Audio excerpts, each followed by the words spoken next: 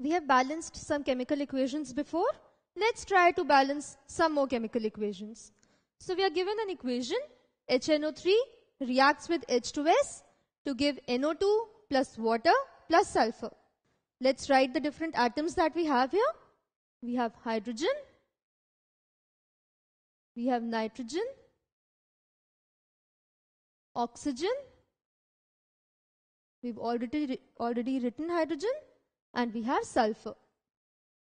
So these are the different atoms that we have. Let's write the different number of atoms on the reactant and the product side. So on the reactant side, we have 1 plus 2, 3 atoms of hydrogen, 1 atom of nitrogen, 3 into 1, 3 atoms of oxygen, and 1 atom of sulfur.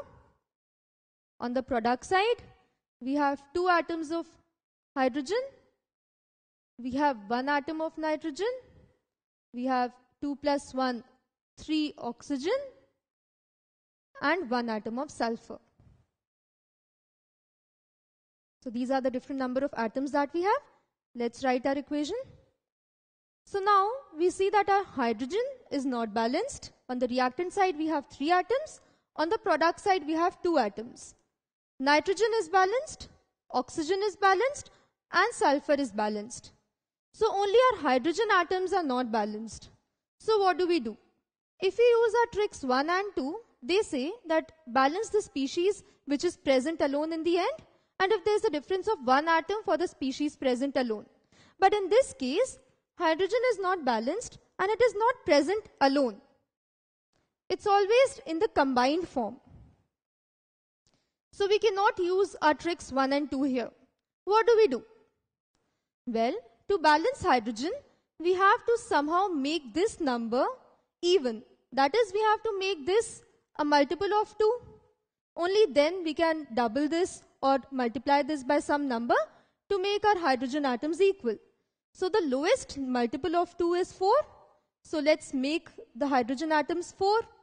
If we multiply this number by 2, we'll get 2 into 2, 4, plus 1, 5.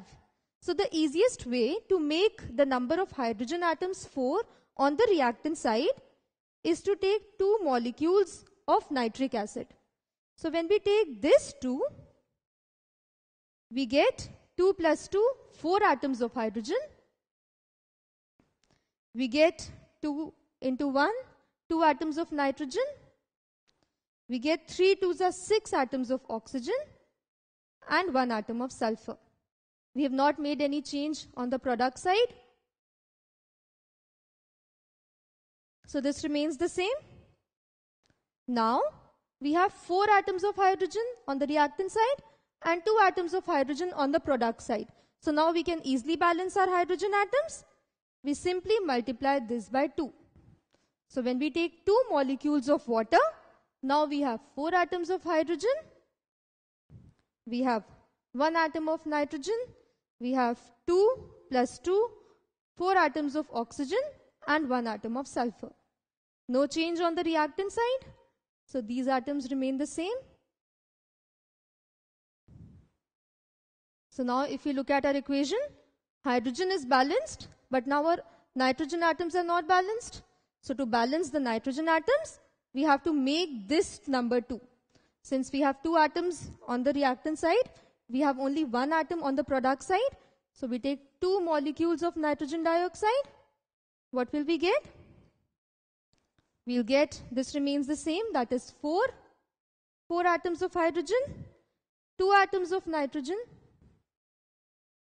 2 plus 4. So this is four, 2 twos are 4 plus 2 atoms of oxygen which is 6 and sulfur remains 1. On the reactant side, we have not made any change. So this number remains the same. So now if you look at our equation, our hydrogen atoms are balanced, our nitrogen atoms are balanced, our oxygen atoms are balanced, and sulfur atoms are balanced. So this is our balanced chemical equation. So whenever we see a problem, that is we were not initially able to balance our hydrogen because on one side we had two atoms and on one side we had three atoms. This is not very easy to balance. So we always try to make the number of atoms even. So when we made this 4, we can easily balance the hydrogen atoms now. So we always try to even the number of atoms. Let's take another example. We have sulfur reacts with nitric acid to give sulfuric acid plus nitrogen dioxide, NO2 plus water. Let's write the different atoms that we have. We have sulfur, hydrogen, nitrogen, and oxygen. Let's count the number of atoms now. On the reactant side, we have one sulfur atom, one hydrogen atom, one nitrogen, and 3 into 1, 3 oxygen atoms. On the product side, we have one sulfur, then we have hydrogen, 2 plus 2, 4 atoms of hydrogen, then we have one atom of nitrogen, and we have 4 plus 2, 6 plus 1, 7 atoms of oxygen. So these are the different number of atoms on the reactant and the product side. Let's write our equation. Now we see that a sulfur is balanced, but hydrogen atoms are not balanced. So to balance the hydrogen atoms, this side we have 1, on the product side we have 4. So we have to make this 4. So this means we have to take 4 molecules of HNO3. So when we take 4 molecules of HNO3, we get, this remains the same, that is 1 sulfur atom. Now hydrogen atoms become 4, nitrogen becomes 4, and oxygen becomes 12. There is no change on the product side. Now let's look at our equation. So sulfur atoms are balanced, hydrogen balanced, nitrogen atoms are not balanced. So now let's balance the nitrogen atoms. So on this side we have 4 atoms, on the product side we have 1 atom. So we have to take 4 molecules of nitrogen dioxide. So we get 1 sulfur atom. Then we have hydrogen. So we get 2 plus 2, 4 atoms of hydrogen. We now have 4 atoms of nitrogen. And we have 4 to the 8 plus 4, 12 plus 1, 13 atoms of oxygen. We have not made any change on the reactant side.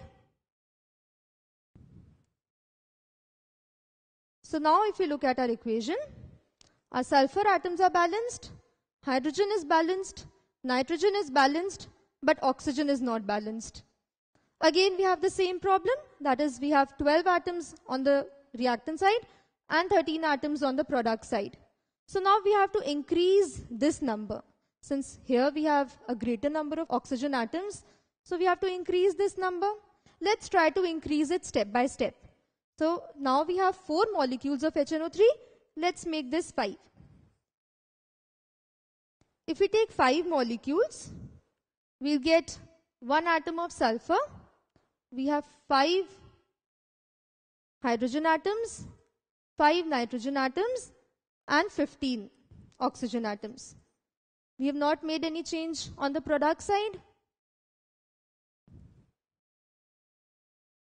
So this remains the same. Now, we were trying to balance oxygen. That is why we increased this number. So let's balance oxygen. So we see that we have 4 to the 8 plus 4, 12 atoms of oxygen. We need 3 more atoms. So how can we balance it? We take 3 molecules of water. So now we have 4 to the 8 plus 4, 12 plus 3. So we have 15 atoms of oxygen we have one atom of sulfur. We have 2 plus 6. We have 8 atoms of hydrogen. And we have 4 atoms of nitrogen. On the reactant side, we have not made any change.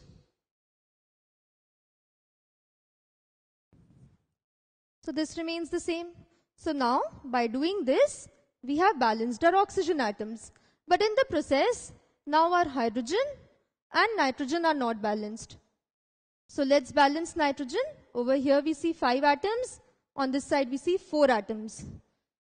So this means we have to make this 5.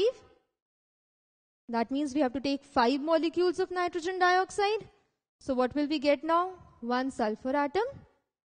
3 to the 6 plus 2, 8 hydrogen atoms. 5 nitrogen atoms. And 5 to the 10 plus 4, 14 plus 3, 17 oxygen atoms. The number of atoms remain the same on the reactant side.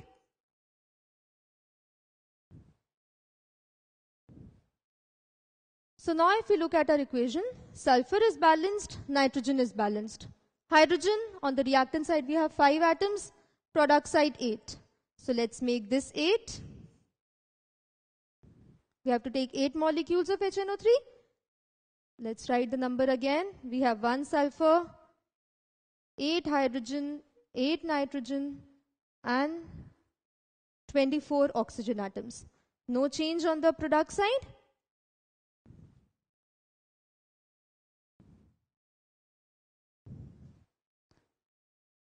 Now, sulfur balanced, hydrogen balanced. Nitrogen and oxygen are not balanced. Let's balance nitrogen first. 8 atoms on the reactant side, 5 atoms on the product side. So what do we do? We have to make this 8.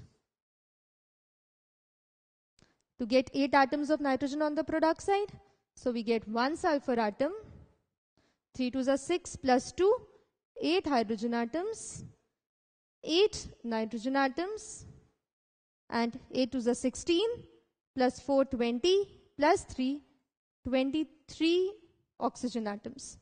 We have not made any change here so this remains the same.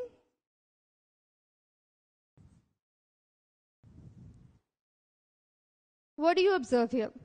Sulfur, hydrogen and nitrogen balanced, oxygen is not balanced. This is the same situation that we had here we had sulfur, hydrogen, nitrogen balanced, but there was a difference of one atom on the reactant and product side for oxygen.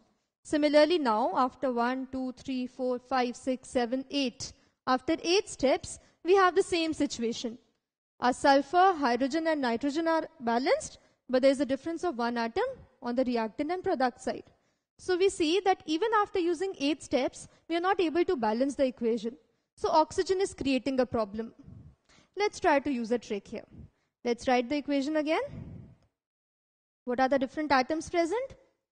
Sulfur, hydrogen, nitrogen, oxygen.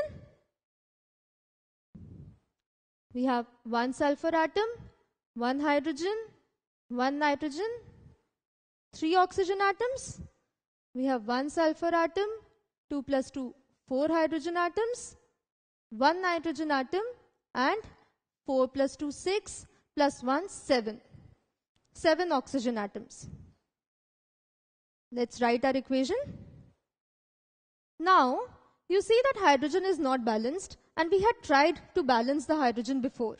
But you see that we have 3 oxygen atoms here. We have 7 oxygen atoms here. So we know since there are odd number of oxygen atoms, they will create a problem. So whenever you see something like this, that is some number, you know you cannot balance 3 and 7 at one time. So always try to make the number of atoms even. The easiest way to do that is to make the oxygen atoms even on the product side. So we see that by this it's already even. By this it is already even. So the easiest way is to take two molecules of water. When we take two molecules of water, this remains the same. Now we have 2 to the 4 plus 2, 6 hydrogen atoms. We have 1 nitrogen atom and we have 4 plus 2, 6 plus 2, 8. 8 oxygen atoms. There is no change on the reactant side. So now we have made our oxygen atoms even. Now let's balance the equation. We have one atom of hydrogen on the reactant side we have six atoms of hydrogen on the product side. So we take six molecules of HNO3. We have one atom of sulfur. We have six atoms of hydrogen, six atoms of nitrogen, and six threes are 18 atoms of oxygen. On the product side, there is no change.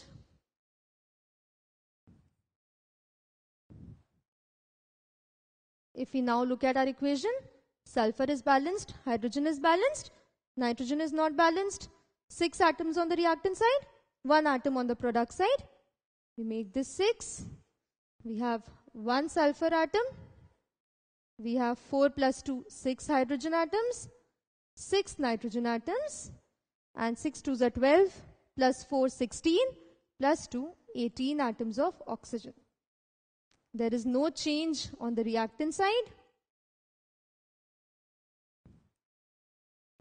So if we now look at our equation, our sulfur is balanced, hydrogen balanced, nitrogen balanced, and oxygen balanced.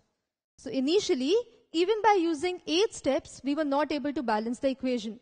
But when we balanced, when we made our oxygen atoms even, the equation becomes really simple to balance. So the trick is, whenever you see any atom, that is, say, we had seen three oxygen atoms on the reactant side and seven oxygen atoms on the product side. So we knew that this is going to create a problem. So try to make this even. The easiest way was to make this number even. So when we made this even, we were able to balance the equation. So try to make the number of atoms even. So whenever in an equation you see a problem, any atom is creating a problem. Since there are odd number of atoms present, always try to make the number of atoms even. This is our trick 3.